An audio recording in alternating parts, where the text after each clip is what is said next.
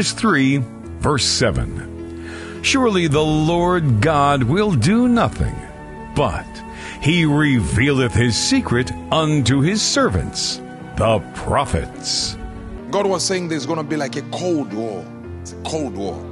You know, the time of Cold War, where words fly. Russia is involved, America is involved. From the beginning of this crisis, I have been absolutely clear and consistent. The United States is prepared no matter what happens. We are ready with diplomacy, and we are ready to respond decisively to Russian attack on Ukraine. And now some very, very important words for those who could be tempted to intervene from outside. Whoever tries to hinder us, and even more so to create threats to our country, to our people, should know that Russia's response will be immediate, and it will lead you to such consequences that you have never encountered in your history. We are ready for any development of events. All the necessary decisions have been made in this regard. I hope that I will be heard on the 2nd of January 2022 in a Sunday service broadcast live on the Good News World TV networks.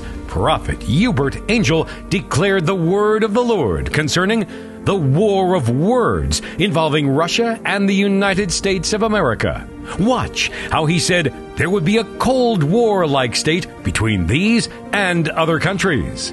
God was saying there's going to be like a Cold War. It's a Cold War.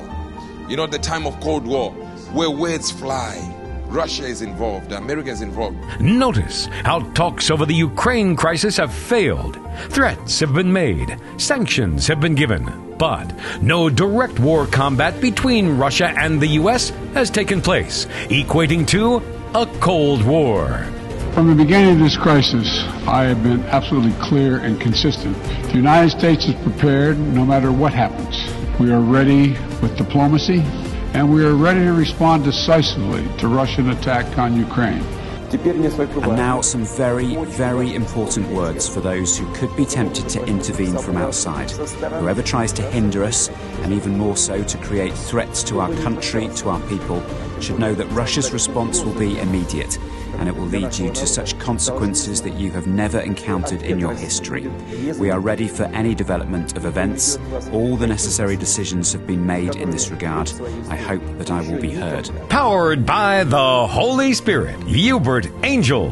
More up to date than tomorrow's newspaper.